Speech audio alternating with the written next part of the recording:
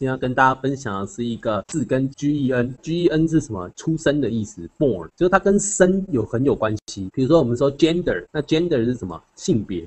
那性别是什么？你天生注定的嘛？就说它这个字根有那种天生的、出生的，跟这些有关的都是有这个字根。那像这个有没有天生的 congenital gene 这些基因？就是说我们每个人的基因是不是也是天生注定的？就一半来自妈妈，一半来自爸爸。genital 哦，跟生殖有关的，那这也是建啊，generate 产生，对吧？这边是不是有一个生？这字根还蛮常用到。然后它所有就是说你看到这个字根，就是你可以合理的怀疑说它是不是跟出生有关？